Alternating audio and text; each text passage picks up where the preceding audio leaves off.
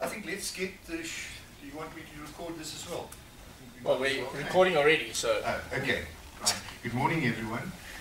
We're really super excited to be here today. This heralds the beginning of a partnership with Citadel, uh, which I think started on the 16th of February down in Cape Town, in a small art gallery in the middle of Woodstock, Cape Town, where I had the privilege of being introduced to Maarten Ackerman, their chief economist. Um, and it, was, it proved to be a, a meeting, uh, a point of contact, uh, which has already heralded, heralded amazing results. And the fact that we are here today bears testimony to Citadel's commitment to the partnership.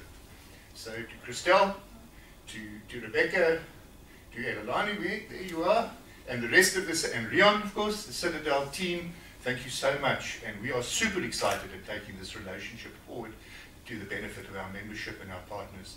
I think it, it, it augurs so well for the future. So thank you. Just some housekeeping rules. You're not here to listen to me. Uh, please, cell phones off. Cell phones off. If you do need the facilities, it's where you came in, straight down, men to the left and ladies to the right. Both left. Oh, no, no, on and then further down. Uh, further down to the Still left. left. Okay, right. Thanks for that already, Christelle. So our partnership too with the Centre for Risk Analysis, we're so proud to have John Endres with us once again. John has addressed our membership virtually over the past two years, twice every year. So we're very fortunate to be able to draw on his incisive analysis. Uh, he's going to challenge you. As a group as we are today, uh, he's going to challenge you. But what you're going to hear is well-researched, credible information. Sadly, gone are the days where we could draw on our experiences in the media and attach any importance to assist us in influencing our decisions both in business. It is critical that chambers such as SACANCHAM creates a platform where their members have a voice, where they can be heard. And it is sad that having created platforms such as this, courtesy of Citadel, that we have what I regard as an unfortunate turnout. Those of you who don't know me yet are going to get to know me. I, I tend to call a spade a shovel. I don't endear myself to many people, but I am straight. So we're going to be talking seriously to our membership and saying, guys, it's not only about having the certificate in your hands or saying at dinner parties, this we members of SACANCHAM. There's an expectation, a realistic expectation, in concert with our colleagues from the High Commission of Canada Trade Commission of Services, and I'm so privileged to have Alan Edwards, the head of head of them, their office with us today. Thank you, Alan. So we're going to have some tough conversation, conversations going forward, but it's necessary, I think. If we're going to be meaningful, if we're going to be relevant, those are the conversations that we need to have. We owe it to our members, we owe it to our partners to deliver on our mandate. But I'm addressing the wrong audience. You're all here today. You're all here today. Thank you for that. Thank you for your commitment. And, and I know it's going to be worth your while. There will be a Q&A session afterwards. There will be a roving mic. Uh, please, John loves questions. The tougher, the better. This is, this is a safe environment. We are recording, but we record it for the purpose of, of sending it out on our YouTube channel. I think not everybody can be here. We have members in Cape Town, we have members in Port Elizabeth, and I think we have one in Durban. Well, in fact, Maarten's in Durban today. so we, we want to we want to make it as, as accessible as possible. So without any further ado, I'm going to call on Christelle Lowe uh, just to make some opening remarks and then introduce John. Over to you, Thank Christelle. Thank you very much. I'm surprised you can be here. Good morning, everyone. It's wonderful to actually have this opportunity, Mike. Thank you very much. It's lovely to meet your members. We're looking, we're looking forward to working with you and hosting more of the events here at Citadel. Um, I would like to actually introduce Citadel to you very briefly. Citadel is a specialist investment management company, and we focus on the investing of private client investments. So we provide as advisory service to secure assets under management for Citadel, but also to provide a holistic solution whereby we look at retirement planning, estate planning, taxes, international and, and local investing for clients.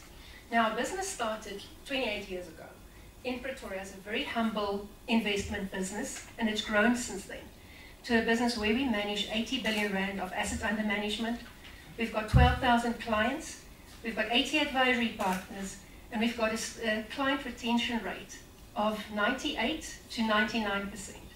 Now, the reason why that is very important to us is because it gives us confidence that the investment partnership that we have uh, with our clients are very healthy. And it's a barometer for us to ensure that our returns and our service offering to clients are actually spot on. So we're happy to have you here, but the, the discussion today is not myself, but is Dr. John Endres, um, who is our speaker. John Endres is a director and CEO of the Center of Risk Analysis. He's experienced executive and is solid, has a solid track record in retail, research, and nonprofits. He's skilled in negotiations, budgeting, business planning, communication, and strategy. He obtained two postgrad degrees, part-time, which we do respect, while working.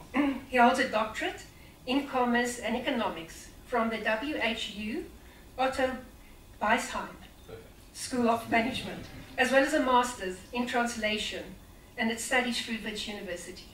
The topic this morning is towards South Africa's tipping point. I think very, a very interesting topic that we're going to explore today. And it relates to how the political ground shifted in 2021, prospects for the policy reform and economic recovery, the future of conflict and cohesion, the opposition challenge, focus versus fragmentation, inflation and the fate of the great global asset price bubble, quite a hot topic for us as well in our industry turbulence in the green trans transition. So, Dr. Endres, without further ado, the stage yours. Great, thank you very much for that uh, uh, welcome and kind introduction. Um, I'm very happy to be with here uh, to be here with you today. Uh, my name is John Endres. I'm from the Center for Risk Analysis, and we analyze risk and we try to understand what is going on in South Africa and across the world. When we do our job well, what we will do for you is try to answer three questions. The first is, what is going on? The second is, why is it going on? And the third is, what will happen? What's going to happen next? And of course, each of these questions is more difficult than the previous one, but that's what we're going to try to do for you.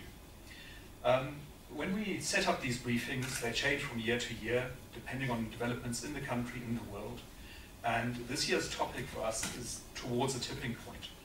The reason we chose that topic is that with my background in change management studies, I'm very aware that change processes often aren't gradual, but are often disjunctive. So you get a long, steady state where nothing changes very much, and you get a very rapid transition where suddenly a lot of change, uh, things change very quickly. And we have the sense that that is what South Africa is heading towards now, a kind of transition. That is why we call it towards a tipping point.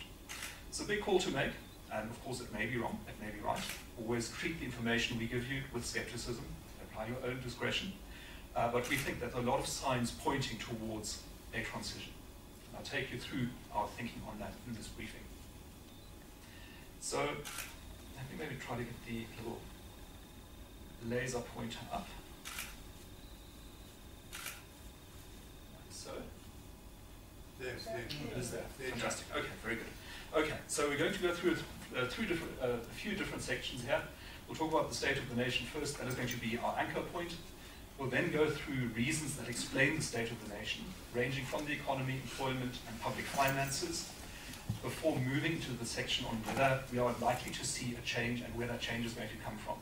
We're going to talk about the growth fundamentals for South Africa. We'll talk about the likelihood of reform before getting into voter priorities and discussing the possibility of a political shift in 2024. We will then close with some scenarios for South Africa, which is a CRA specialty, um, which I hope will illustrate our thinking and also encourage you to ask questions uh, and to have a good discussion about these topics. Without further ado, let's get right into it. Let's talk about the state of the nation. And uh, you'll see that the image we've got up there on the slide is the July riots last year. Um, that was a very disruptive event, um, something that I think shocked all of us, certainly you know, shocked me as well. But unfortunately in South Africa, we could see the signs that this was going to happen sooner or later, and we also think that it could happen again.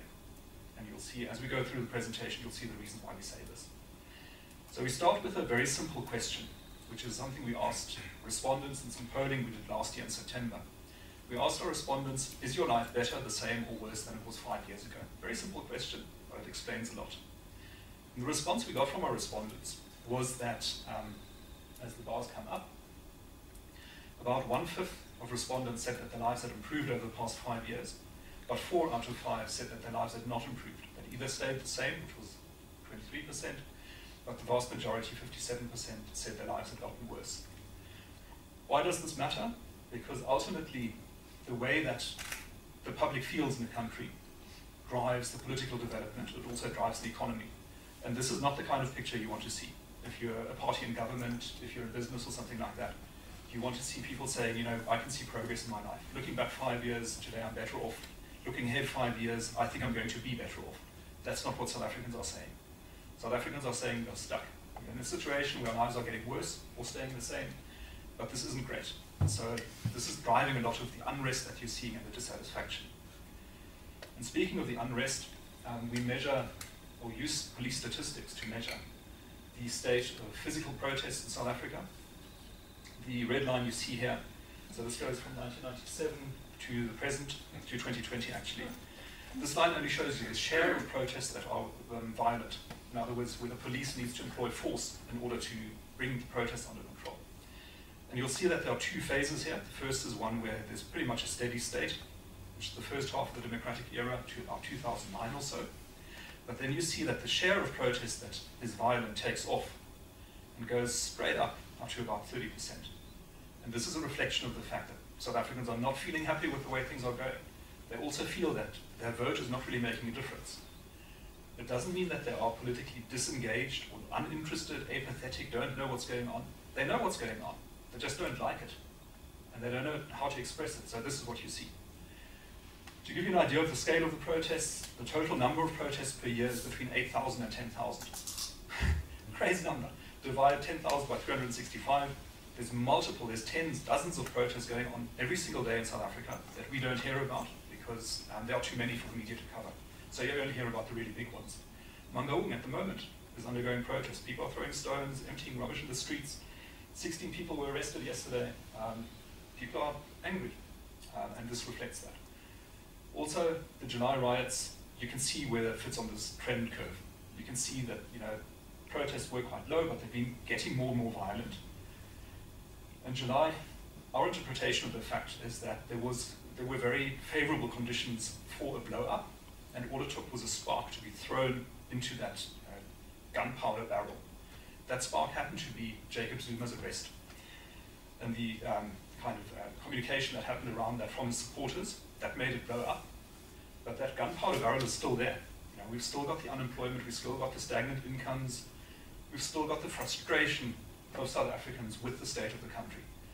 And that makes us think that if there's a new spark, there will be a new explosion. We are, we are really expecting that to happen. I think it's almost unavoidable. So, okay. So this is the scene setter. South Africans aren't really happy with the way things are going. Why? You know, what's, what's, what's wrong? What's, what's going wrong? Well, let's look at the economy for a start.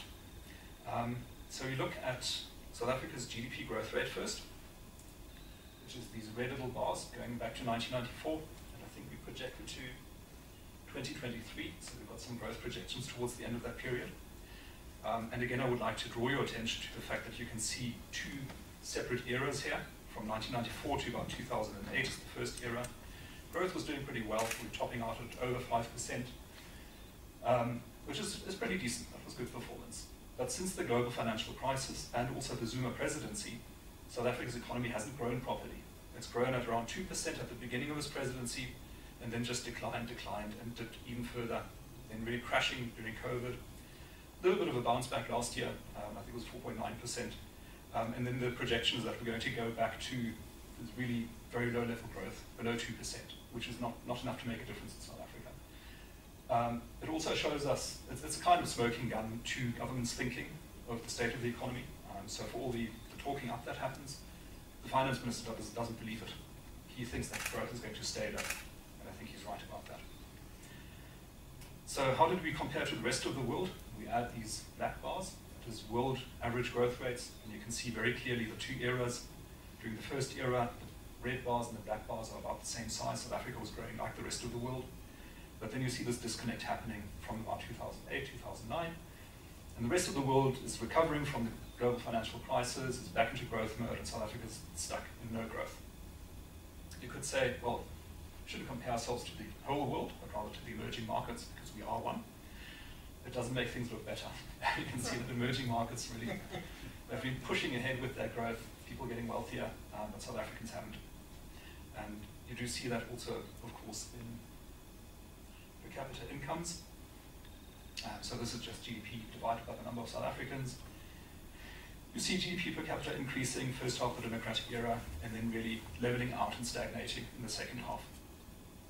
As we generated this chart, so I must actually point something out here. So we're currently at this, this level here, what is that, $73,000, $74,000, oh, sorry, Rand GDP per capita.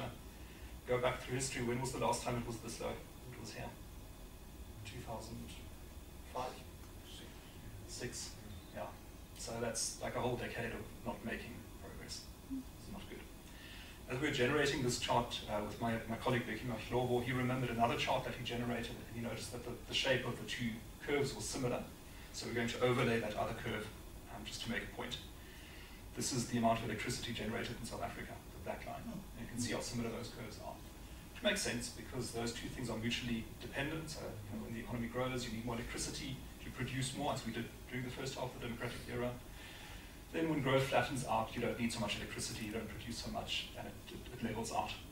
But conversely, also, of course, you can't grow if you haven't got electricity. And this has been the problem in South Africa, one of the problems least. The lack of electricity capacity has limited growth to 2% and below.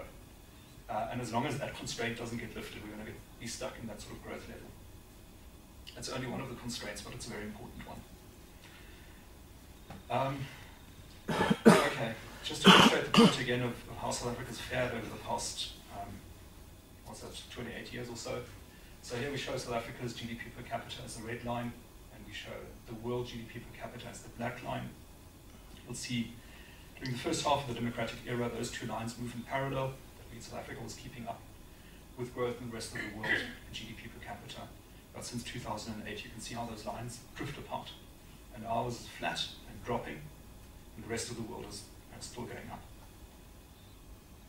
So the economy is definitely one reason why people are unhappy, but employment of obviously is another cause. Um, and you're all familiar with South Africa's unemployment rate. I mean, that gets reported quite a lot. Just repeated. For argument's sake, um, I think the latest stat is 46.6% unemployment on the expanded definition, which includes discouraged job seekers. Uh, I don't actually have words to describe how bad that is. It is terrible. It is, it is, it is incomprehensible to underperform that badly on employment. It's really, really bad. Um, but we'll give you a couple of um, different perspectives on the unemployment just to add to the insight. Unfortunately, it doesn't really make things better. The first is youth unemployment. Uh, above 50% are now heading towards 70%. 75% on some definitions. Uh, imagine being a young person just entering the labor market, coming out of school, coming out of university. This is your chances of finding a job, it's one in four. No wonder people are unhappy. Very, very bad. Um, similarly, if you look at for how long people have been unemployed, uh, people unemployed for more than a year is the red line. That has always been high at 60%, but it's still increasing now, going up to 80%. And the black line is people unemployed for under a year, um, which is obviously the mirror image of the other one. Those two are complementary. As Becky pointed out to me when we were discussing this chart, you actually want the red, the black line to be above the red line, because you're always going to have unemployment, but the important thing is to generate jobs again and get people back into the job market. Not what our economy is doing when the American economy crashed during COVID, you could see those unemployment numbers just skyrocketing up. But even then, I wasn't worried about America because I knew that America, once the economy started growing again, was going to get all those jobs back. It's a very flexible, dynamic labor market.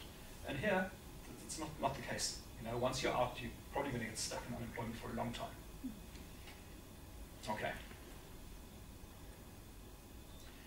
To give another perspective on this, we did a bit of modeling. So here we show the labor absorption rate. That means the number of the share of the working age population that actually has got jobs. This number in international comparison should be between 60 and 70%. Some countries go up to 80% labour absorption rate. South Africa is the black line, um, 43% at the start of the period we're looking at 2008, flatlining and then declining during COVID, now at about 35%. This is half the level of where it should be, completely insane.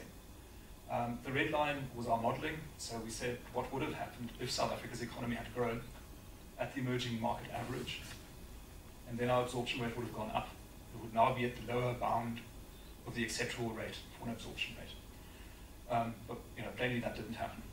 Um, you'll hear sometimes arguments about jobless growth in South Africa. Um, that is not supported by the facts.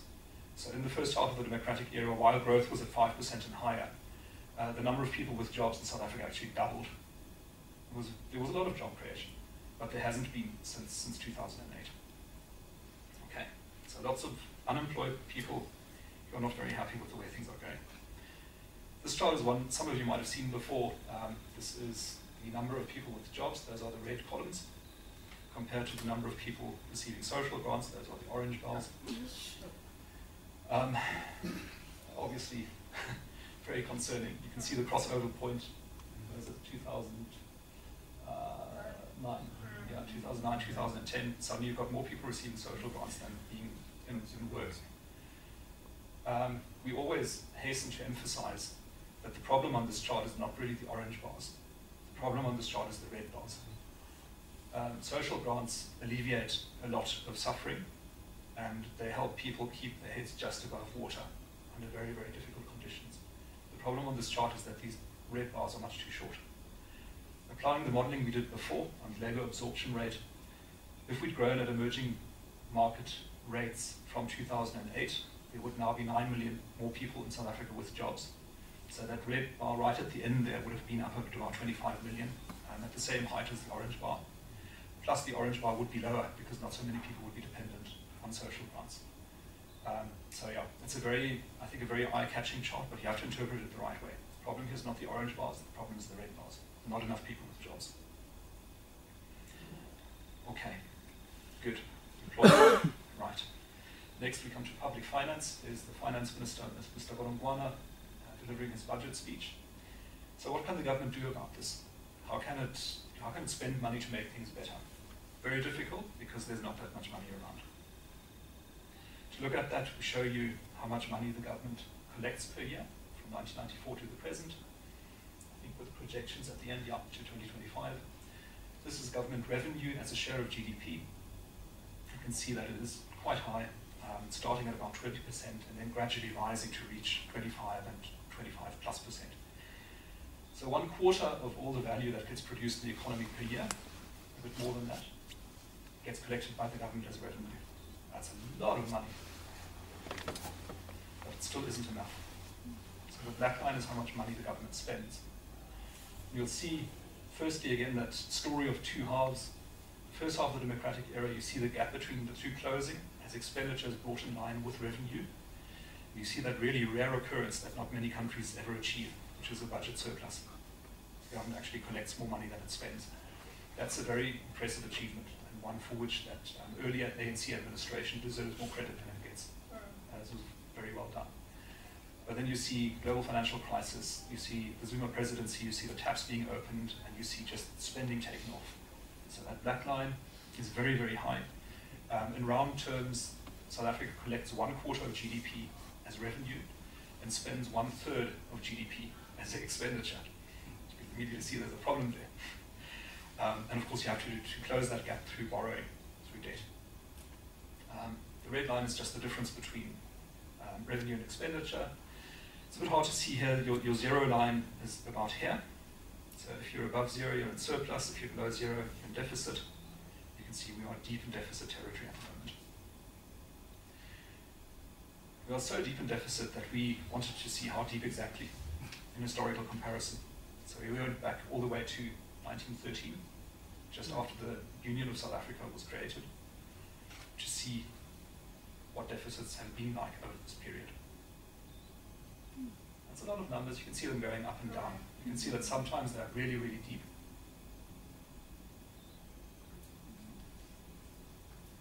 And what this tells us is that the current level of deficit is exceptional in, historic, in the historical context, but not unprecedented.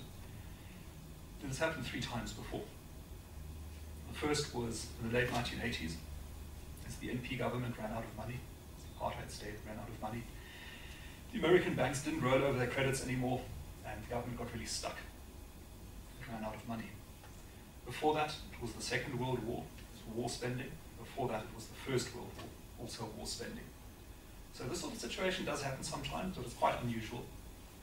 And uh, students of history will know that subsequent to each of these deep deficit periods, there was a change in government.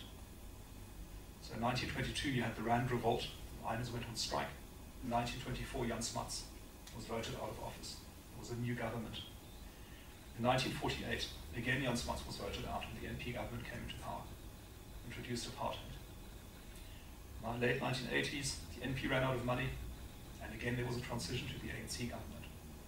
And now we see that for the fourth time, as far as our records go back, we are in deep deficit territory. So will this pattern be repeated? We think it might well. Um, just looking at debt, um, so this is what funds the difference between revenue and expenditure for the government. Again, that first ANC administration did a really admirable job in halving debt as a share of GDP from 50% to 25, pretty much. Then the taps open, go full on debt, at a level of about 70% or so. It's quite high. We'll give you some comparisons, uh, some international comparisons to show how high that is.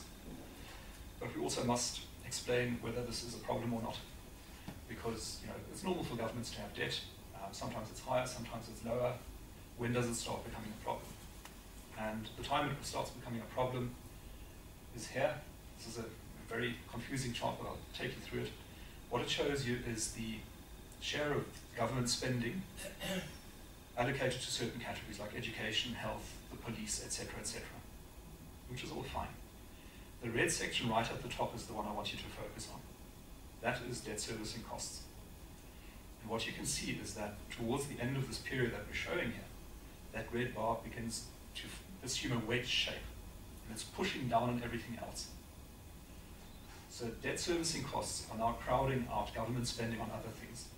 They are limiting the fiscal scope of the government to do the things that it wants to do, and they're also tying its hands if it wants to try to create change in the economy without fundamental reforms.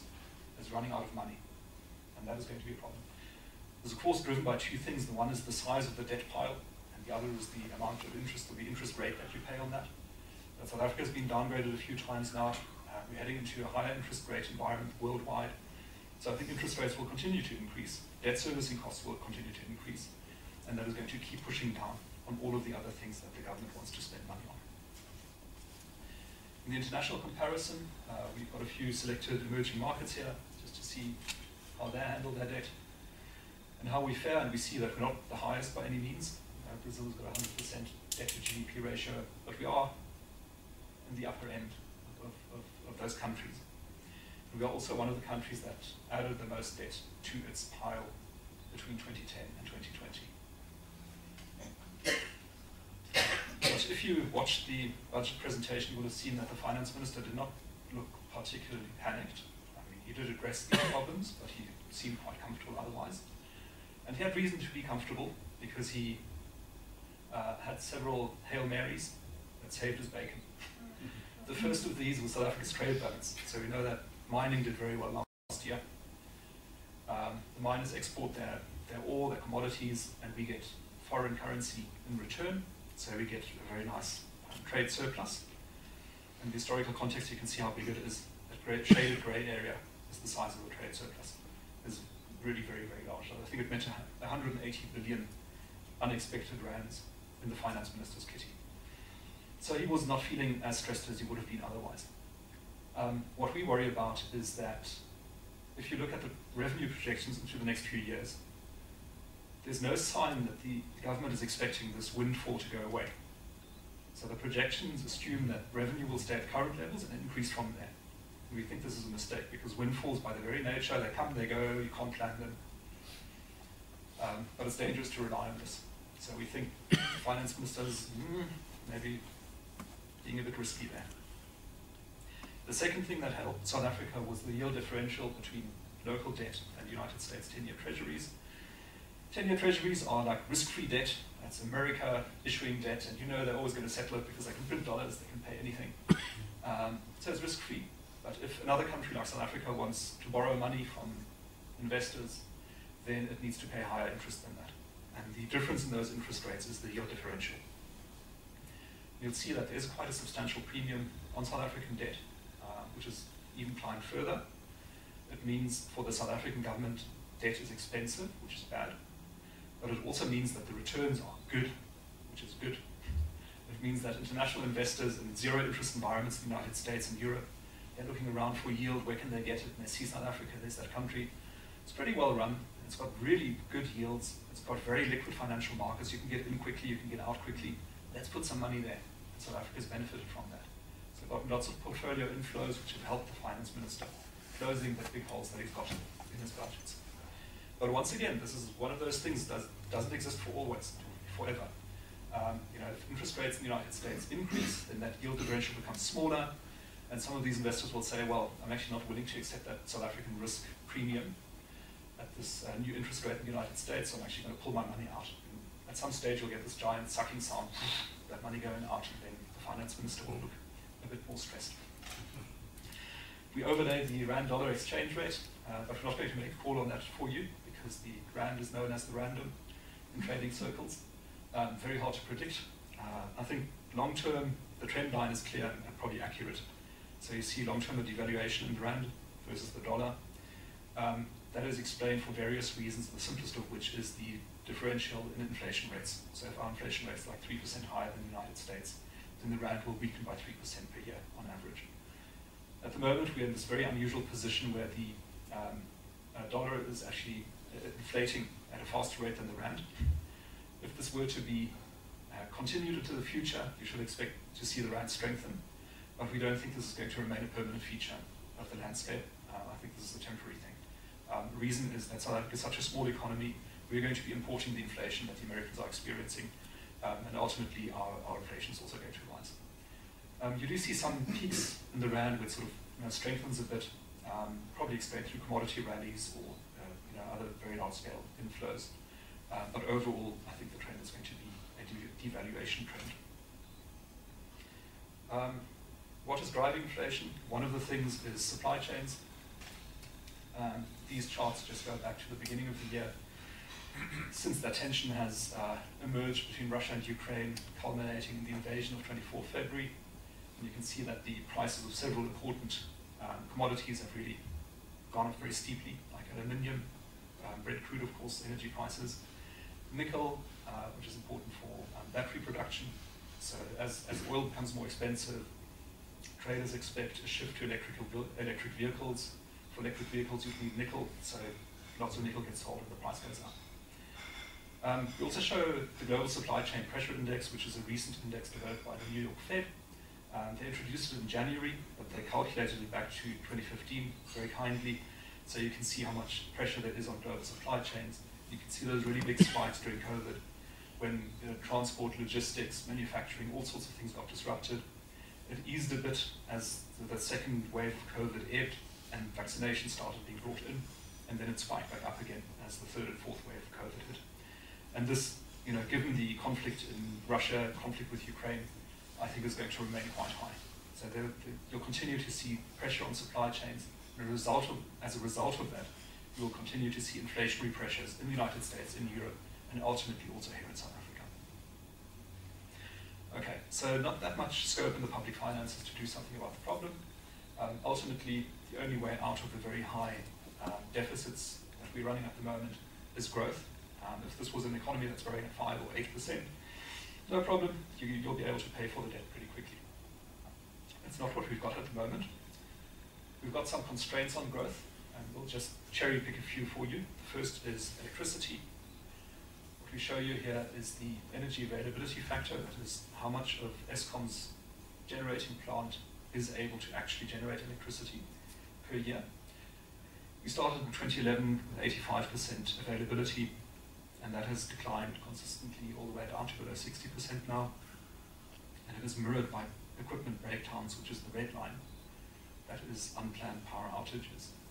And we're now at a level of 27%, so a quarter of all of Eskom's generating capacity at a given time was breaking down because of lacking maintenance, because the equipment is getting old, maybe because of sabotage in some cases as well.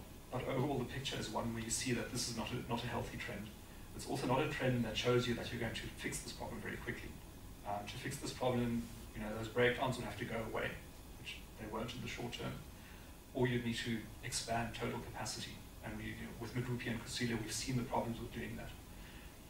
The solution here is going to be private generation, um, which is beginning now, but far too slowly, we think. So we think load shedding is still going to be with us for the next two to three years, and it will continue to be a cap on growth. As soon as you see growth sort of tentatively, timidly edging up, load shedding comes back, growth goes down again. Um, yeah, and we'll get out of that once, once we've got more power. The second thing we look at is education. So you need a skilled workforce in order to have a growing economy. Just one data point here. We show you the grade one class in 2010, 1.1 million school children, and then we follow this one class, this cohort of school children all the way through their schooling careers to see where they go. And we see that as you go through the schooling, more and more kids drop out. So by the time you reach grade 12, about 350,000 kids out of 1.1 million have left school already. Out of those 750,000 that are remaining, um, 700,000 write their matrics and 537,000 pass their matrics. This is the matric pass rate that the basic education minister tells us about January each year. She divides the number of passes by the number of kids who sat to write matric. It's around 75 to 80%, which is then uh, promoted as a, a, a, great success. It's not. because the numbers you need to put in relation is actually the number of kids who passed matric versus the class that started in grade one and you can see that's below 50%, and that's, that's not good. So the education system is, is failing huge numbers of South African children and school leavers, making life very difficult for them. Out of those who pass matric, um, about half do so with grades good enough to get into university. Again, it's a problem because you want lots of tertiary educated people. It's better for a growing economy. Um, and you can look even more closely at that group of those 250,000 school leavers. Um, and look at the number of them who pass maths with a grade of 50% or higher. And that's 50,000 children mm-hmm. out of 1.1 million who started their school career in 2010. And that's a big problem because you know if you want to get to the fourth industrial revolution, uh, you want banking, finance, insurance, um, technology, engineering, um, science to be advanced in South Africa. All of those things which really grow economies. We're not producing the skills, the manpower that we need for that in sufficient numbers. Um, so that's another constraint. Does it matter um, how much education you get? It does. So we show you here the labour absorption rate by highest attained level of education. Mm. Um, and just it stands out immediately. If you've got anything less than a tertiary education, your labour absorption rate is very low, uh, comparable to the general population. Um, it means your chances of finding a job are not very good. If you do have a tertiary education, your labour absorption rate is comparable to that of the rest of the world, 70%. So it's actually really important to get kids into universities, TVETs, training colleges, getting diplomas, getting some sort of um, education after school. Um, you do sometimes see stories on social media of uh, graduates who can't find jobs. Um, and I think there's a perception out there that even though if you've graduated as an engineer or architect or mining engineer, you won't find a job. There are cases like that, but it's not the norm. And usually I think young people who display so much drive to need and want to get into university are actually, they've got the right assessment. They know that this is going to really improve their chances. They're right about that. Um, another constraint on growth is our gross fixed capital formation. What this describes is the amount of money that gets invested into fixed capital. That means your factories, your plant, your machinery, your heavy equipment, your infrastructure, kind of stuff that stays around. You can't put it out very quickly. And it allows you to make more stuff or to move other stuff around. You need that to grow an economy. South Africa, compared to other emerging markets, should be at a level of 23 to 25% of GDP um, with its gross fixed capital formation, but we are actually at a level of 14%. So very, very low. Um, the National Development, Development Plan in 2012 said that South Africa should aspire to a level of 30% gross fixed capital formation to GDP. We're very far away from that. Um, you see the spike in fixed capital formation up to about 20, 2009 or so. Um, I think that's partly a result of good economic policies, macroeconomic policies, but also, of course, the Soccer World Cup. So this was building of stadiums, the upgrading of highways, the train and so on. But nonetheless, you, you need that, that sort of level of investment in order to, to grow the economy. Um, haven't got that at the moment. Think of the railways, the roads, the ports. Um, those are the things you need to get your stuff moved between markets within the country and to get it out into other markets. And all of those are not performing well at the moment. Not at all.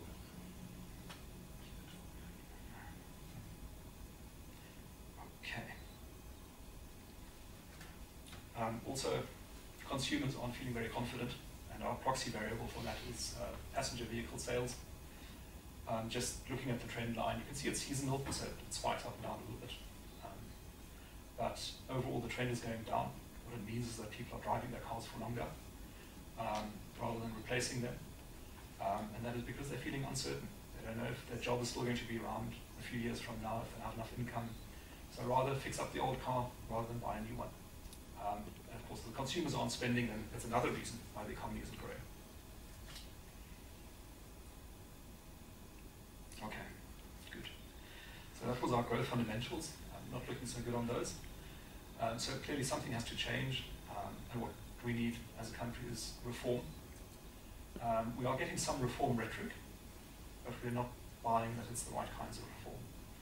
Um, the image we chose here is the unfinished bridge in Cape Town, um, and so metaphor is that there's lots of talk of reform, but it's not going anywhere. Um, if you listen to the finance minister in the budget speech, he talked about fundamental reforms being needed, but the examples he gave were things like spectrum release. It was like easing visa applications, it was infrastructure spending. Those things are not, that, that's not what, what's going to shift the economy onto a high growth path. That's tinkering around the edges, it's sort of fiddling a little bit to try to make things a little bit better, but it's not going to do what we need it to do. Um, so we show you here a picture of the, the cabinet, and we speculate about whether we might get the kinds of reforms that are needed, which are bitter pills. Those are really hard reforms. Firstly, are we going to see action on corruption? Um, we went and looked at the 80 ordinary members of the ANC National Executive Committee and uh, looked to see whether there were serious allegations of corruption against any of them. And we found that 41 were implicated in serious corruption, serious enough to go to jail if found guilty. 31 we couldn't really say, and 8 we think are not implicated. But now picture yourself being uh, Mr. Ramaphosa uh, and, and uh, pretend that this is a world where he wants to combat corruption, as he has proclaimed on many occasions. This makes it impossible for him. Yeah.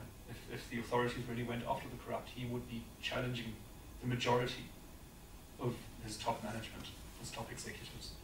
Um, so we, we think what you're going to continue seeing is lots of rhetoric around anti-corruption, but little action. You'll see the occasional scapegoat being chased around the country, like Mr. Magashule, or you'll see the hawks swooping in on the Gupta compound after the Guptas have left. Uh, and the, the, media will report and say it's finally something is happening and arrests are imminent, etc., etc., but they're not really. Um, so this is all for show. Um, secondly, we ask, uh, are we going to see economic reforms? And what we mean here is not uh, spectrum release and, and visa amendments. That's irrelevant. Fundamental reforms mean ironclad guarantees for property rights. You can't have something like EWC prescribed assets, NHI, cancelling of bilateral investment treaties, and expect investors to put their money into the country. Can't. Secondly, you need very fundamental education reform. You need to fix the education system, because otherwise you won't have the skills to get the country growing. You need to do something about electricity at a far more urgent pace than you are doing at the moment. Get the private sector in there. You need private power generators to be selling into the grid, uh, competing on price, expanding capacity in order for the economy to grow. We're not seeing that. we went and looked at the cabinet, and these are our percentages, and we wondered you know, which cabinet members would be in favour of the kinds of reforms that I've just described, which are very, very hard. We realise that. And we also need labour market reform, by the way. Um, unpalatable and politically sensitive. We think 81% of the cabinet are anti-reform. They think that the current trajectory is actually fine. We must double down, must do more of that. Um, so we're still pursuing EWC, got the new land courts bill, for example, now, which is effectively an EWC court that the, the government is trying to introduce. We're seeing doubling down on um, uh, race-based employment legislation with the Employment Equity Amendment Bill currently before the National Council of Provinces. Most of Cabinet is in favour of this. There's about, what's that, 19% um, who we think you know, are possibly open to reform. Pro-fundamental reform, we're not seeing any Cabinet ministers. Um, we had Mr. Mboweni in that camp on previous versions of this slide, but of course he threw up his hands in the end in frustration because he just couldn't make any headway um, with, with his plans, so he left.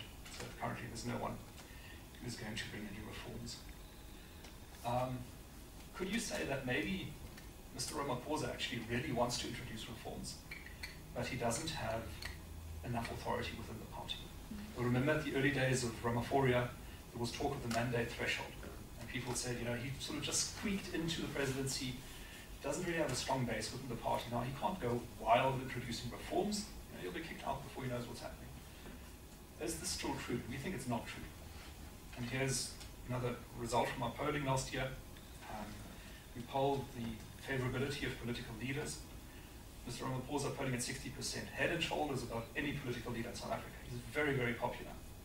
As a matter of fact, he's more popular than the party that he leads. So the ANC got 46% in the local government elections, Mr. Ramaphosa at 60%. If they cut him off, they're going to drop much faster. And they know that, so they need to keep him inside the party. This gives him a lot of political capital, which he could deploy if he chose to, uh, but he chooses not to.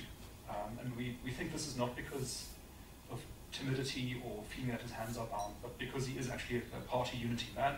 The unity of the party is the most important thing to him. We will do nothing to challenge that. And also he is committed to the ideological program of the ANC. So you saw in the January 8th statement a recommitment to the National Democratic Revolution. This is the line that we're going down, and we're going to continue going down that way. So you're not going to see fundamental reforms. This path is now set that we're on. Um, however, for what, as long as we are on this path, we're not going to grow, we're not going to create jobs, and South Africans are going to continue to be as frustrated as they are when I show you that very first slide. So the, the way to, to break out of this for South Africa is actually going to be through a political realignment, um, through a change in government. And that means that you have to look at what voters care about, because ultimately the voters hold the power. Um, South Africa is a, a very free country, a lot of freedom of speech. We've got fair, free and fair elections, and ultimately voters decide what happens in this country. So, what do voters care about? We asked them. We do the polling. This is from September last year, and we asked them what are the two biggest problems that the country is facing. You can name anything you like. We've done this for 10 to 15 years with varying polling companies, all of which are you know, recognized polling companies that use representative samples that ask the question in the mother tongue of the respondent, make sure that you balance in terms of race, um, gender, uh, rural versus urban, etc., etc. So it's, proper polling. Um, the results came out like this in, in our last round of polling in September last year. And what always strikes us is that the results are always the same. They have been the same for the past 10 to 15 years. Unemployment is what South Africans worry the most about. And that's not going to surprise you. You've seen the unemployment figures, you can see how bad the situation is. So what people care about is getting jobs. And you'll see second in the list is the abuse of women or children. That is uh, a surprise to us because that entry has been there in the list before, but never as high as last year. We think that might be because August is the month of awareness about women and children, uh, child abuse. And so when people were asked about this, they said, yes, you know, that campaign has just been happening, so that, that is a very big problem. And of course, it may also be that under the impact of the COVID lockdowns, the loss of jobs, of people being cooped up together under lockdown, um, there probably was a lot more abuse of women and children than there would have been in 2019 before COVID. So that's a big issue. Um, what we've seen in previous polling, however, is that the next issues after unemployment are always the same in a varying order. On the one hand, it's climate safety, obvious. People don't want to get mugged on the way to work, uh, and corruption. And then service delivery issues around education, health, housing, water, electricity, really basic things. That's what South Africans care about. I think this is an accurate, accurate representation of voter priorities. What we see a lot in political discourse and in the media, however, is a focus on the issues at the bottom of this chart. And that includes racism, BEE, land reform, and inequality, be it racial, gender, or other. We'll see that the ANC and the EFF spend a lot of time on these topics, and not so much on the topics at the top. And the reason for that is that it's very hard to deliver on the topics at the top. You could be measured on it, and if you fail to deliver, you can be punished for it. Topics on the bottom, you can fudge it a bit. You can say racism is getting worse, we're doing something about it. We've got the Human Rights Commission now looking at racism in advertising.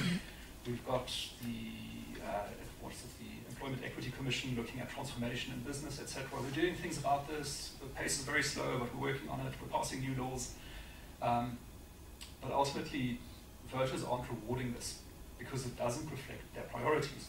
They're not getting what they need, which is jobs, service delivery, and climate safety being combated. Um, as a result, many voters are staying away from the polls. You see voter turnout dropping. Those people are staying away, we think, are not uninformed, stupid, or unengaged. They care about what happens in the country. They care about these things, but they're not seeing any party giving them these things. Giving up hope gradually in the ANC because they see it's not coming. The EFF, I think they don't quite trust. They don't trust the DA either. And then there's lots of smaller parties, and they'll say, well, is this a, a wasted vote, or should I vote for this party? So it's reflecting the politics. We think, however, that a party that can make a credible sale on the top issues will do very well, because there's that huge pool of non-voters, twice as many non-voters as there are ANC voters in South Africa are up for grabs. So if you're an opposition party, or if you're the ANC, you've got to focus on that group and think, how can I talk to them? How can I sell them something that they want? What, what do they want? Look at our polling, we'll tell you.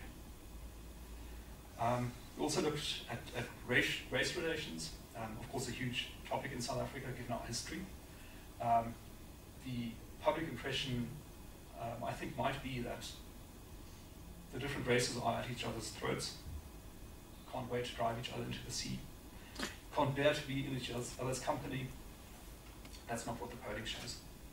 Um, so this is just one of the questions we ask. Um, we ask, have race relations improved, gotten worse, or stayed the same? Majority of people say they've improved since 1994, thank God for that.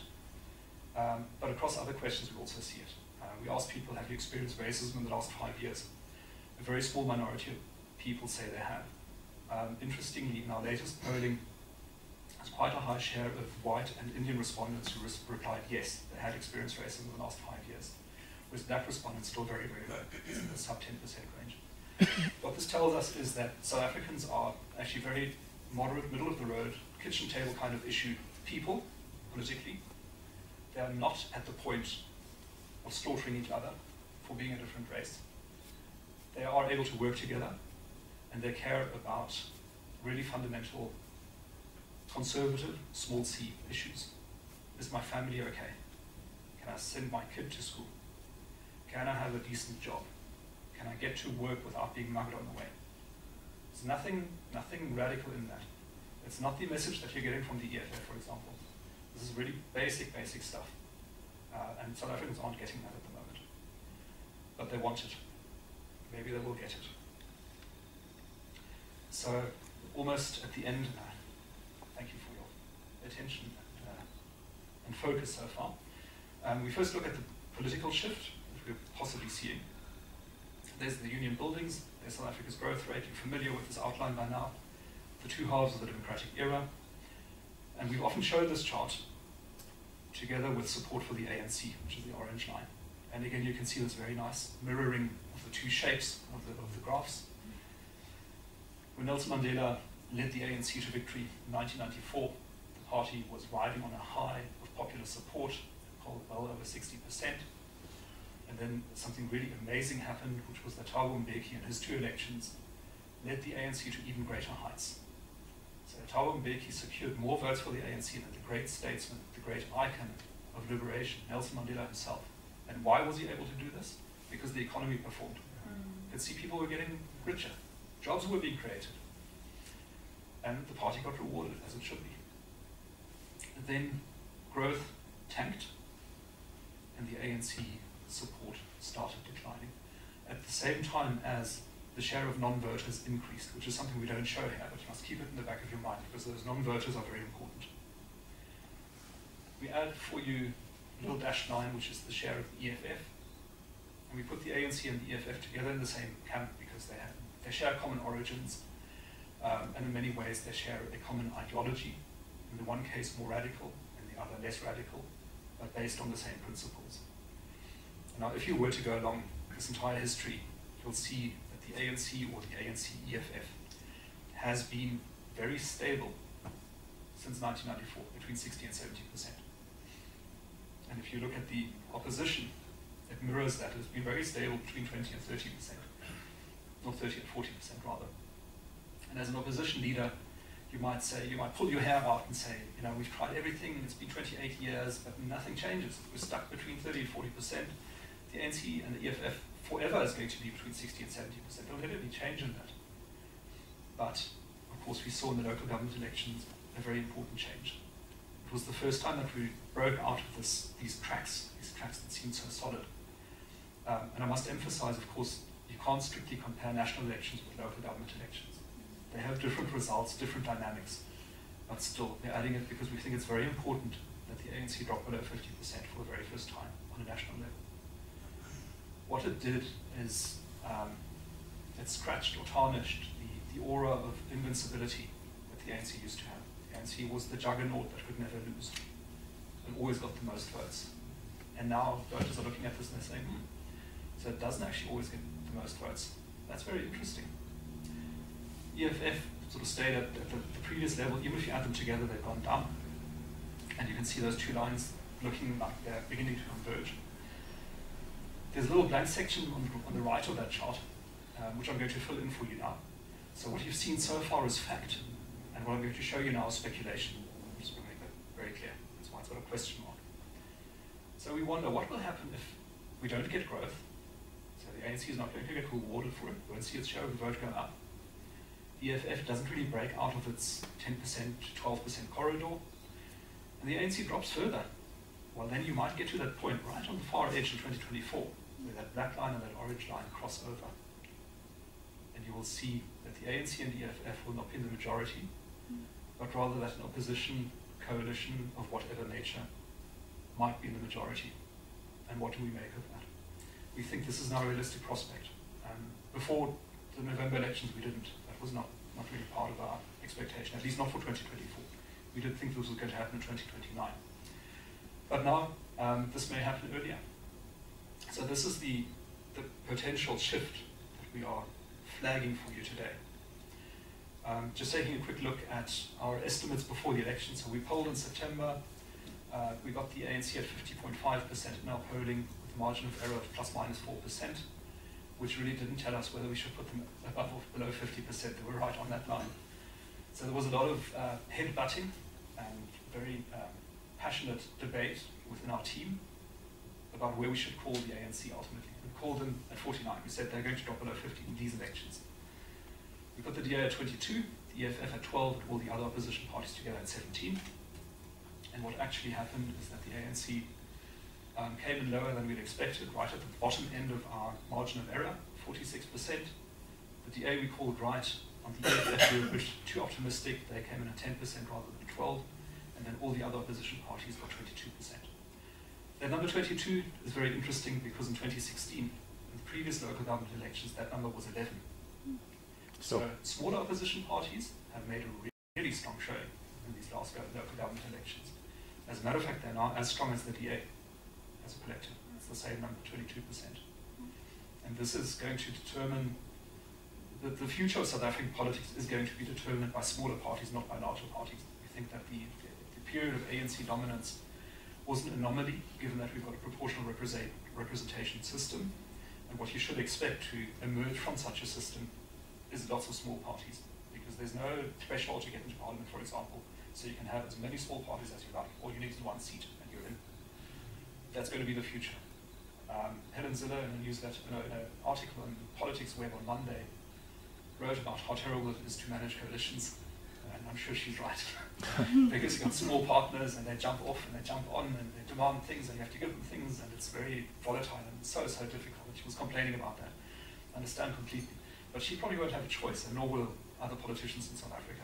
If you want to be successful in, in, in politics in South Africa in the future, you need to know how to manage coalitions. A big ask, but it's not impossible. Um, I'll just give you a quick reminder of the non-voters, um, and I'll focus on the far right column, just in the interest of time.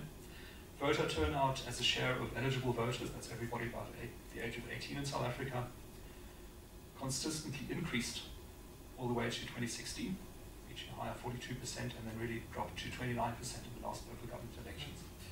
It's a reflection of, of unhappiness with the way things are going, but also a reflection of specific conditions that surrounded these elections, like, for example, COVID, like the load shedding that, that happened in the weeks before the election, uh, like the uncertainty about whether the election was going to be postponed or held as required by the Constitution within 90 days after the expiry of the previous terms. Um, and there was only one registration weekend instead of two. So all the reasons why turnout was low, um, but nonetheless, there it is. Non-voters are very important. Okay, we've come to the final part of the presentation, which is the scenarios. Uh, and before I get into those, um, you'll see a picture of buffaloes in the background. I don't know if you can see it from your angle, I can't see it from here. Um, so we, the way we try to understand South Africa's political landscape that we say that the African savannah has been dominated for a very long time by a dominant buffalo. Huge animal, muscular and powerful, that nobody could really challenge. And commentators and analysts, you know, were always interested in the contest, and they wondered whether a lion was going to emerge that was going to take down the buffalo. Was there going to be a strong party that was going to grow its share of the vote? And uh, keeping with the metaphor, the lion was it going to leap out from behind a bush, the tall grass, onto the buffalo and take it down? And in election after election, commentators and observers were disappointed because there was never. And we now think that there never will be a lion. It's not the kind of political system we've got. But what there will be, we think, is a pack of wild dogs. Wild dogs are small animals. A single wild animal, uh, a single wild dog cannot challenge a buffalo. The discrepancy in sizes is far too big. But a pack of wild dogs is a very fierce predator. It's the predator with the highest kill rate in Africa. It's the most successful predator that exists. Pack of wild dogs, usually when they're amongst themselves, are sociable, but they also snap at each other and they fight over scraps, and you know, there's quite a bit of tension in the pack. But when they get the scent of the prey into their noses and they start the hunt, they can be very focused. And this is the scenario, one of the scenarios that we're going to describe for you now. You'll see the imagery and the, the names that we've chosen for the scenarios are linked to that idea of the buffalo and the wild dogs. So when you draw scenarios, the way you do it is that you identify two key factors that determine the outcomes of the thing that you're looking at. In our case, it's South Africa's future politically and economically. We think one of the most important factors is going to be whether the ANC remains above 50% or drops below 50%. And the second is whether we see fundamental reforms, the bitter pills that I mentioned earlier, or whether we don't get such reforms. And so if you map those two axes against each other, you get the four quadrants, and I will fill in those four quadrants with you, with the names of the four scenarios, and then I'll explain how, how we explain each of those scenarios happening. Top right is that the ANC stays above 50, and you also get a very effective reform strategy. And you see really sweeping reforms across a, a range of sectors. Well, I'll get to the reasoning afterwards, I'll do that one by one. We call this the Buffalo Charges scenario. The second one is that the ANC drops below 50, the, the wild dogs make the kill, and you get the effective reforms that kindle, rekindle growth. Third scenario is the hyenas plunder the carcass. That is where ANC drops below 50 and you don't get reforms. As a matter of fact, you might get a doubling down on harmful policies. And the last scenario we call the buffalo stumbles on, which is we don't get reforms, but still the ANC stays above 50%. I will now explain to you the, the reasoning behind each of those. So here you see the, the buffalo giving a wild dog a good chase. Um, chasing it away, looking quite rampant. And the way it plays out is that you get, so the ANC is in power and it introduces these sweeping reforms across labour, empowerment, energy, education, and property rights. As a result, you see growth taking off and going back to those 5% levels that we saw between 2005 and 2007, and you get all the good results that come out of that. You see debt first flattening, then coming down, you see the currency strengthening, you see job creation resuming its, its old trend line, and you see living standards improving.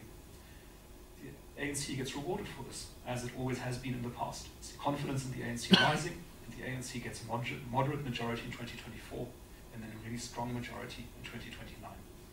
So that's a that's the buffalo charging, storming, um, and, and uh, making sure that nobody is under any illusions as to who is dominant on the savannah.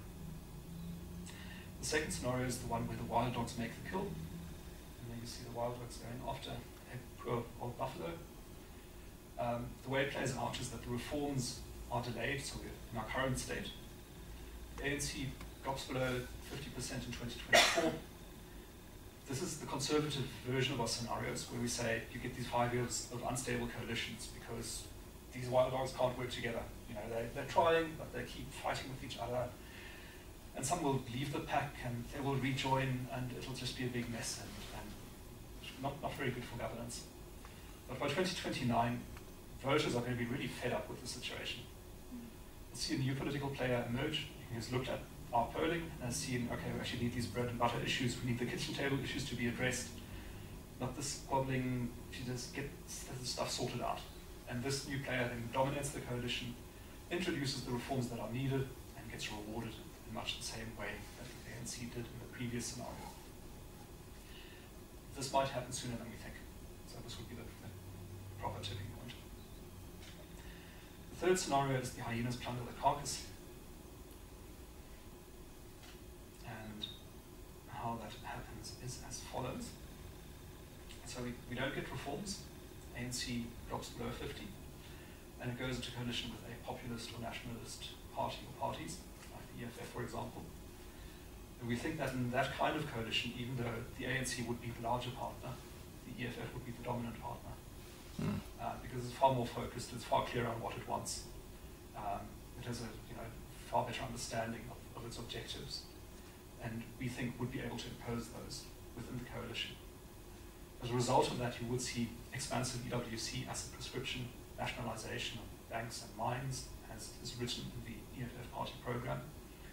The consequences are easy to anticipate, um, and this is literally the Zimbabwe or Venezuela scenario, where you just see the debt and deficit going to sky high levels, currency being printed, hyperinflation, and investors and skills running away as fast as their feet will carry them. If this happens, The living standards drop steeply, and in 2029, by the time the next elections roll around, the ANC EFF coalition will realize that they can't stay in power under these circumstances because their performance is far too bad. So they're going to restrict civil rights.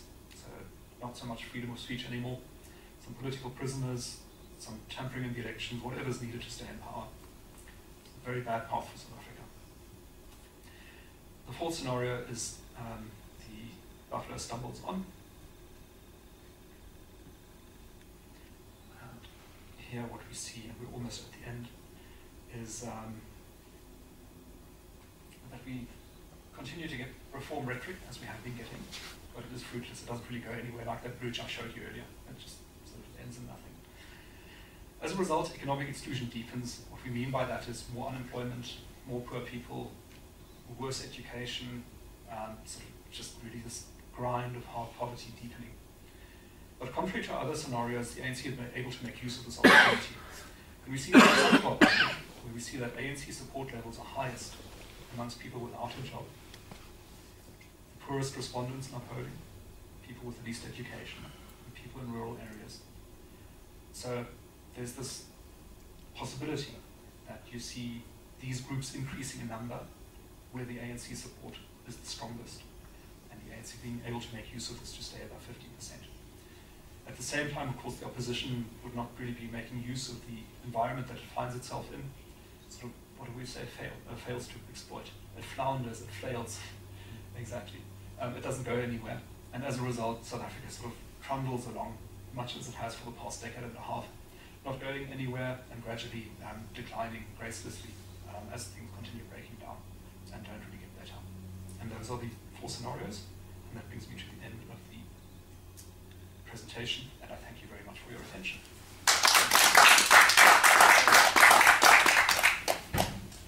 Thanks. John, are you happy to take a few questions? How are we doing time-wise, Rebecca? Are you okay? I have time. You have time. Thanks so much. Questions? You all absorbing it? Right, thank you.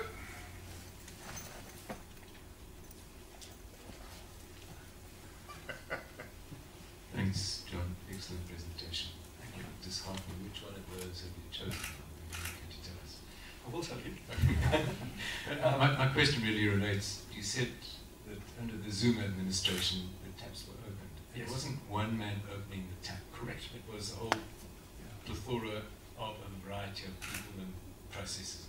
What actually happened that led to this disaster? Okay. Um, so let, let me start with the second question first. So what, what, what, what led to the opening of the taps and the, the disaster that we've experienced over the past decade and a half? The reason for that, I think, is to be found in a, a realignment of the ANC that happened when Zuma got elected and at the, at the ANC internal elections in 2007, I think it was. So Thabo Mbeki had introduced an administration that was quite pragmatic in many ways, uh, with severe failings as well, but one that delivered in terms of macroeconomic stability, growth, job creation, etc., etc. He seemed to be pretty much firmly in the saddle. But he committed one very big mistake, and that was to deploy Jacob Zuma to KwaZulu-Natal to bring KZN back to the ANC and to get it out of the grasp of the IFP, which Jacob Zuma did with a great deal of success. what Mbeki didn't realize was that he was creating an opponent for himself with a very large power and support base in KZN. Mr. Zuma, very astute political operator, realized that he needed to build a coalition in order to take over from Mr. Mbeki. And he built this coalition out of a combination of forces that were ideologically left. It was one grouping, and that was interested in enjoying the spoils of incumbency. In other words, corruption, on the other hand. These were two groupings, two distinct groupings. I think that Mr. Zuma personally was not particularly invested in ideological questions. He was happy to leave this to ministers like um, Patel, for example, and Davies, um, which means that by default, the kind of policy environment we got was a left-leaning policy environment, more interventionist, think of localization, think of industry master plans, um, you know, think of um, expanding the welfare state. So the whole thing was, was, was left-leaning. It was not free market oriented by any means. But the interests of these two groupings coincided in that, in that both of them wanted to increase state spending. The one grouping for ideological reasons, because they believe the state to have this important developmental role in, in society. You need to have a big state for that. You have to spend a lot of money. The other grouping, because that gave them access to money flows for patronage purposes. So the state capture phenomenon was only one half of the explanation for why the Zuma era was so bad. Yes, the corruption was huge and it was hugely damaging, but on the other side, you've also got the policies that stopped growth. And the combination of the two brought us to this point where we are today. Um, I think that, that ultimately is the, uh, the explanation. So it wasn't Zuma who opened the taps, but it was convenient for him to open the taps both for ideological reasons and also for patronage reasons. And so that's what we got out of it. Um, and as for your first question, you know, which, which one's going to happen? Um, I don't know. um, I must mention two things about the scenario technique before I continue. The first is that when the scenarios are done by um, academics and proper experts, they say that each of these scenarios must be equally likely. And if they're not equally likely, then you haven't done it right.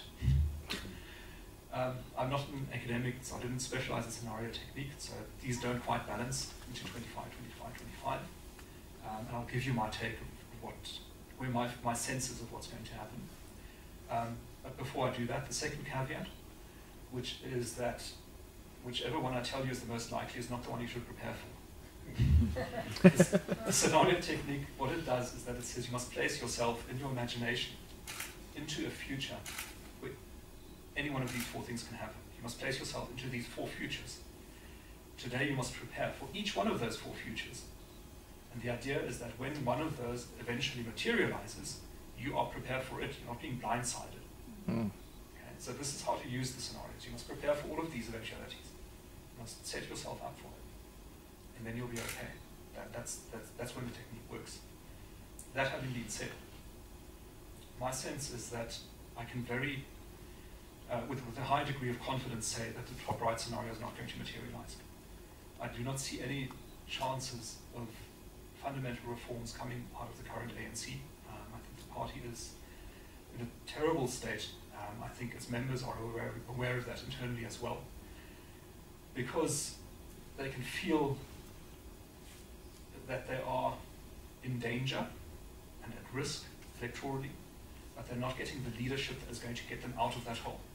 Mr. Ramaphosa isn't providing it. And if they look around themselves, I don't think they see anybody else who's going to provide it either. And without that leadership, the ANC is not going to be able to turn things around. It's going to have to keep going down that route that it is on at the moment. So that scenario I'm going to give like a, a residual 5% probability to make sure it stays on the, on the map, but I don't think that's going to happen. We left with these other three scenarios, and I would assign almost equal probability to the buffalo stumbles on and to the wild dogs make the kill. I think those are the two most likely. Why would the buffalo stumble on after what I've just told you about how difficult things are for the ANC at the moment?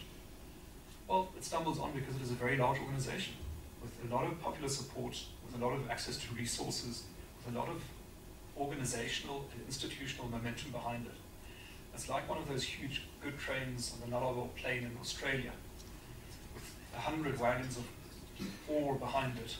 So you apply the brakes, it'll just keep going. You know, keep going for a long time.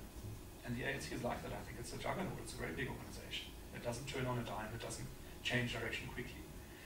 So if nothing else happens in the surroundings, by default, we'll just keep going on. And we'll, we'll have uh, a long period of graceless decline, is how I would describe it. The bottom right um, is not a scenario I would assign 50% probability to. But I would also not say that it is in the single digits. I think there's a realistic chance of this happening. Um, and I'll, I'll give you some reasons why I say that. Um, after the November elections, two days later, we wrote an article explaining the wild dogs and buffalo scenario. We caught a lot of flack for that. People said, you guys are mad, it'll never work. You know, you, you see these opposition parties, they're all fighting with each other and their leaders are stealing each other's wives and they're competing for the same voters. They can't possibly work together. But now you look around you and you see in Johannesburg there's a wild dog coalition in government. In Tshwane, there's a wild dog coalition in government. In Ekurhuleni, there's a wild dog coalition in government. Each of these coalitions is in power against all odds, in some cases much to their own surprise.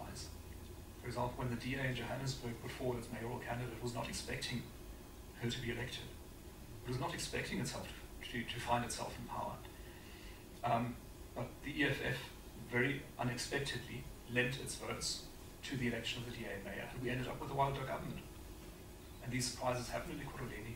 Um, in it was not quite as much of a surprise. But in any case, we ended up with these, with these wild dog governments. That was only the first hurdle. But there are so many other hurdles to cover, like, for example, the election of the chairpersons, and you saw the toy-toying and the protests and so on. And you thought, well, you know, they won't manage this hurdle because their coalitions will break apart before they can elect their chairpersons. But they crossed that hurdle. And now we've got chairpersons elected, and these councils are able to start working. The next hurdle was the passing of the um, adjustment budgets, and you thought, well, surely they can't agree on money, which is always the most divisive issue, but they did. Have passed their adjustment budgets. The next hurdle is going to be the proper budget in May. And there'll be hurdle after hurdle after hurdle after hurdle. But the fact that they've come as far as they have already increases the likelihood of that red scenario, that bottom right scenario. we're seeing a proof of concept in the making right now. These parties also need to realize that they're not just working for the residents in the city. What they are doing is important for the country as a whole. Because in 2024, if these coalitions survive, they will be able to point to their successes and they will say, we are diverse and we're all different, but vote for us because we can make it work. Look at Johannesburg, look at Tshwane, look at Ekurhuleni. So the job that these coalitions have is very, very important and they have to swallow many bitter pills and uh, accept a lot of squabbling and horse trading and terrible deals that they have to make just to stay together and show that it can be done. So this gives me the feeling that this Wild Dogs Make the Kill is not as outlandish as it would have seemed, you know, in September last year, or October last year. So those two for me are the most likely scenarios. The bottom left one with the hyenas plunder the carcass is the, the scariest one and the worst outcome for South Africa, without doubt. Um, it's not negligible probability, um, but I think lower than the, the two across the other di- diagonal. I'll give you one reason for that, which is if you think of the, the dynamics of an ANC EFF coalition, you must imagine that it is the day the results get announced at the results center in Midrand. The ANC comes in at 45% and wonders how can it get a majority. And they will think, should we pick up the phone to the EFF? Should we call Julius? and Try to build a coalition with him. And they'll wonder and they'll think, hell, Julius is so dangerous. He's so focused, he knows what he wants. He's very strategically smart. He knows all our secrets. And we've got moles in the organization. He used to be one of us. If we bring him in, he's going to put half of us in jail before we know what's happening. And then he'll take over and he'll put in his own policies. And I- I'm sure he will do that. He's ruthless. He knows what he wants. He's going to get what he wants. I think the ANC knows this as well. They'd have to be pretty desperate to do this. From the EFF's perspective, they're looking at the ANC, which is a sort of crumbling organization, bereft of ideas, bereft of, of money. Um, so, you know, they, they weren't able to pay their employees for before the local government elections. Imagine that, how terrible that is. Um, they haven't got money. The state is running out of money. Um, the, the, it's running out of support. It's a sinking ship. And you should tie yourself to that as the EFF and say, yeah, that, those are the guys you want to work with. The guys that are going down. And so the EFF might also say, well, maybe not such a good idea. Actually, better off doing what we're doing now, you know, being independent, being autonomous, being disruptive, representing who we are. So that, that bottom left scenario is very scary. Um, but I think you know, maybe I don't know, 15% or so. So that would give you 5% for the top right, 15 for the bottom left. You can put 40 on the, the other two. Yeah.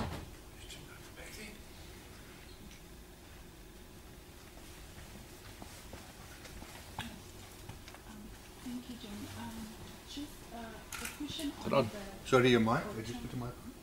Sorry, I didn't. I think, oh, no, it's on. Yeah. Just into the mic. The wild dogs Greg, make go. a kill.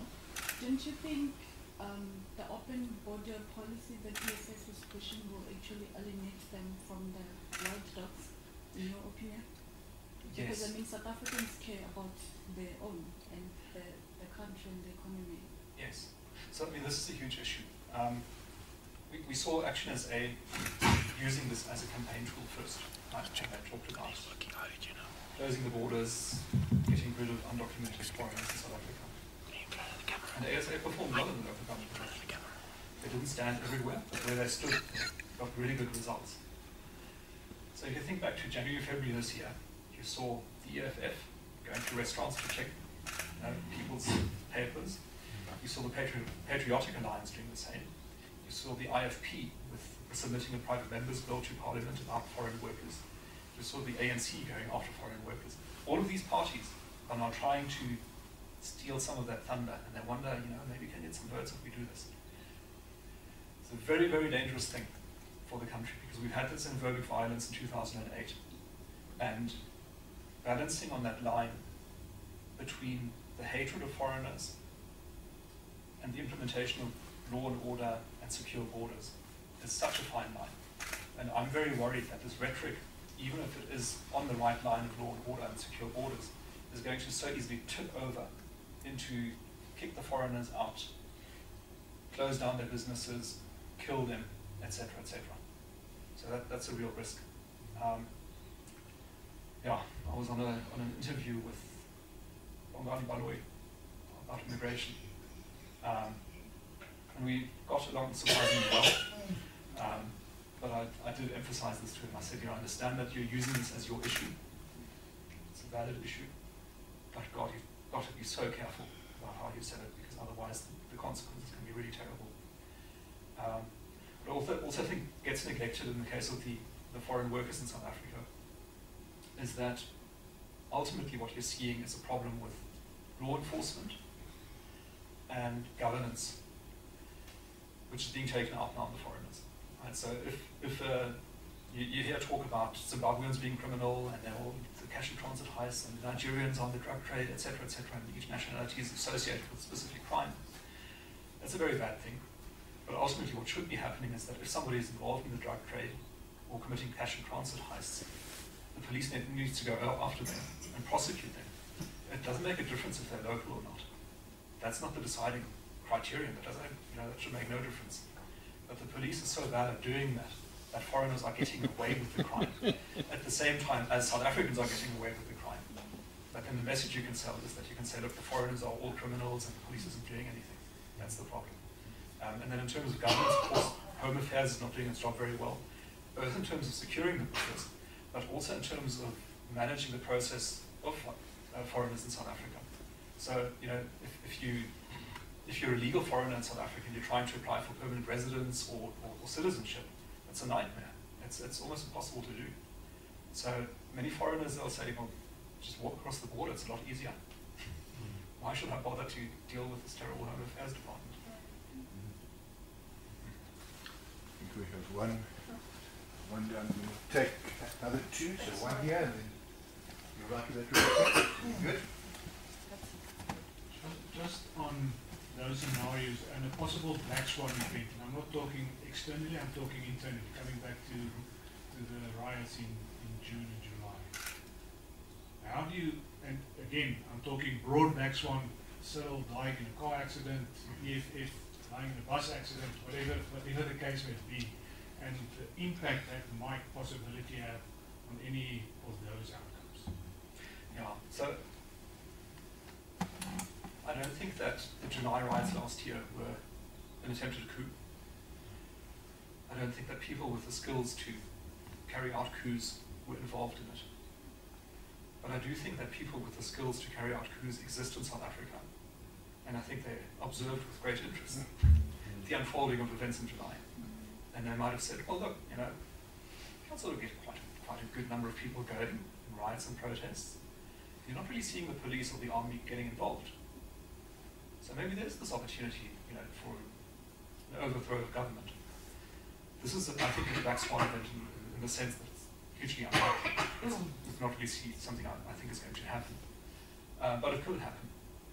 And what, would, what that would do is that it would take us outside of this scenario set.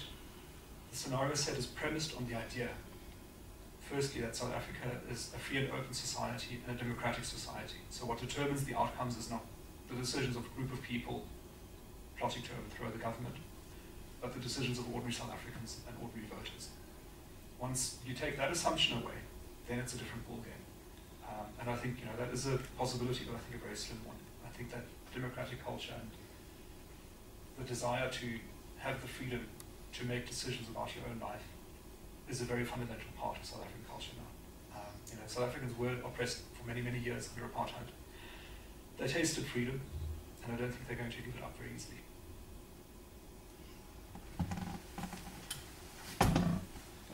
Last question. There will be an opportunity for some networking if you have some questions after. Thank you, John. Uh, As always, uh, there's an awful lot to unpack here. Uh, And, you know, my, my question, of course, I always preface this, I'm the, I'm that guy who's not South African, talking about South African politics, so uh, take it for what it's worth.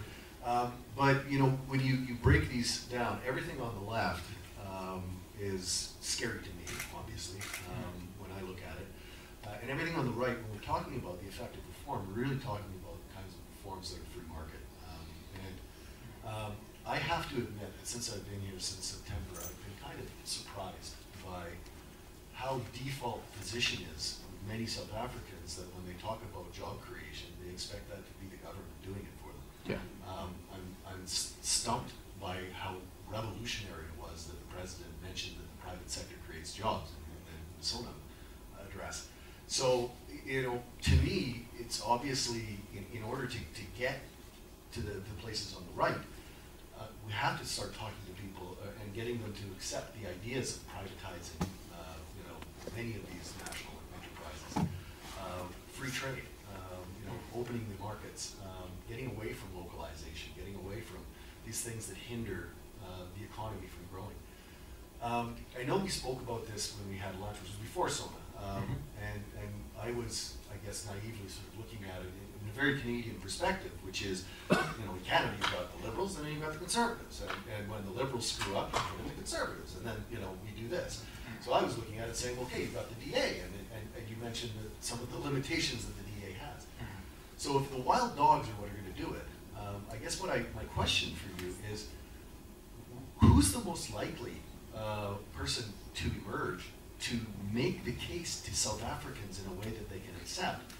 Uh, that the reforms that need to be made are the kinds of reforms that, that means the government's gotta let go of some things. And, and who's likely to be able to do it? Um, and, and, um, how do you see that playing out and how to, making that message to South Africans? So, I guess part of the picture that I'm painting here Mhm. is, despite what I'm saying about the splintering and fragmentation of the opposition and of politics in general in South Africa, this is a kind of two-party system setup. I'm saying that you've got the ANC EFF world Right. on the one side, and you've got the opposition world on the other side. For these opposition parties to be able to keep it together, they will have to agree on certain principles. Um, they all espouse different values, and they address different voters, and they must be allowed to do so because voters need that choice. They need that market segmentation kind of choice. But these parties need to agree, on some fundamentals. I think that most of them do agree on these fundamentals. Firstly, the rule of law. So I think ANC EFF is not too keen on prosecutions uh, for corruption, for example, those sorts of things. I think that the wild dog parties will say, well, that's actually not very good. We do need accountability, we do need the rule of law. Another point of differentiation, I think, is going to be property rights. They say ANC EFF can is in the area of expropriation without compensation, prescribed assets, national health insurance, um, and maybe nationalization of more things if the EFF has anything to say about it. Whereas the other camp says, no, property rights are actually really important and you can't grow the economy without investment. Um, and the same, I think, applies to the general assessment of economics. How do you make economies grow? I think the ANC EFF is the developmental state, where you say the state has to be big, it has to be involved, it has to regulate, it has to make things happen, it has to create jobs, it has to help companies export, import, etc., etc. Protect local companies from foreign competition. Whereas the other camp, I think, needs to clarify in its own mind the idea that um, maybe it, it, it represents something like the capable state, uh, which was used to be the, the, the DA's name, which uh, Mr. Ramaphosa has now also started using, uh, together with the development, developmental state. Um, where you'd say, well, you're a capable state, but that means you're facilitating the environment within which business can grow. And that means free trade. It means not so many restrictions, not too many regulations. Make it friendly to investors. I can't point to a single person or party that's going to make that argument. Um, I think it will partly emerge out of discussion and debate between these parties who, if they have any sense at all, should be thinking today about what reforms they want in 2024. They mustn't start the day after the election. They have to think about this now and agree on it now. Um, also, in terms of managing the coalition, they have to think about that now. Um, we know how difficult it is, but you know the, the Germans uh, they took 100 day, 100 days from the date of the election or the announcement of the results to forming the government. Those 100 days, they used working hours from 9 to 3 every day, weekdays, to negotiate and to write their coalition agreement. After hours, they would still have networking and debates and so on. They took it very, very seriously. And by the time those 100 days were up, they had a 174 page document that described everything and says, you this is the relationship between the three parties, this is what they stand for, this is the policies we'll endorse in this area. This is how the coalition breaks up. This is how it continues, etc., etc. And you've got to do that work. Um, it's very hard. But I think that's, that's, that's, if it happens, that is how it will happen. John, thank you so much.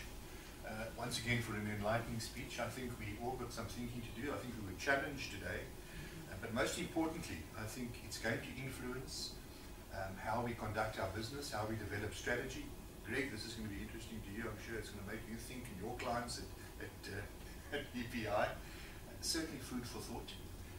Challenged we were, robust, and I think we once again depend on the integrity, the element of research that CRA has become renowned for, um, not only in South Africa but indeed on the African continent. So once again, thank you so much, John, for, for your input. It's now my privilege to hand over to Alan Edwards for some concluding, brief concluding remarks and uh, vote of thanks.